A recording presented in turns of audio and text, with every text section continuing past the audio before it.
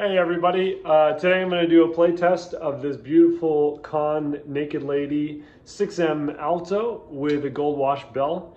We've given it a full COA, which means clean oil and adjust, and any pads uh, that needed replacing got replaced. This thing plays great, and these horns sound awesome.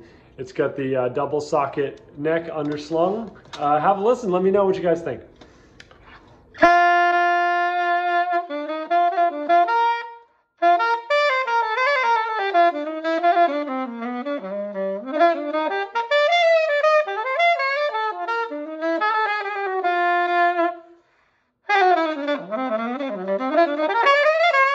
Thank you.